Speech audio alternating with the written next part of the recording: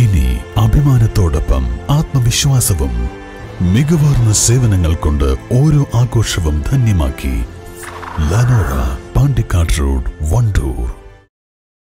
മഴയെ തുടർന്ന് വഴിക്കടവിൽ കിണർ ഇടിഞ്ഞു താഴ്ന്നു. പൂവത്തിപ്പൊയിൽ കാട്ടുപരുത്തി ഷംസുദ്ദീന്റെ വീട്ടിലെ കിണറാണ് ഇടിഞ്ഞു താഴ്ന്നത്. കഴിഞ്ഞ ദിവസം പുലർച്ചെ മൂന്നരയോടെയാണ് ഇരുപത്തിയഞ്ച് റിങ്ങുള്ള കിണർ വലിയ ശബ്ദത്തോടെ തകർന്നത്. മുപ്പത് വർഷത്തോളം പഴക്കമുള്ള കിണറാണിത്. ഈ കിണറിലെ വെള്ളമാണ് കുടുംബം ഉപയോഗിച്ചു വരുന്നത്. ഇന്ന് പുലർച്ചെ രാവിലെ റിങ് ഫുള്ള് താന്നു ഇരുപത്തഞ്ച് റിങ്ങൾ കിണറാണ് അതിൽ അഞ്ച് റിങ്ങല്ലാത്ത മുഴുവനും കാണു പോയി. നമ്മൾ കുടിക്കുന്ന വെള്ളമാണ്. കുടിവെള്ളത്തിന്റെ കിണറാണ്. കഴിഞ്ഞ ദിവസങ്ങളിൽ പ്രദേശത്ത് മഴയുണ്ടായിരുന്നു. East live Edakkara.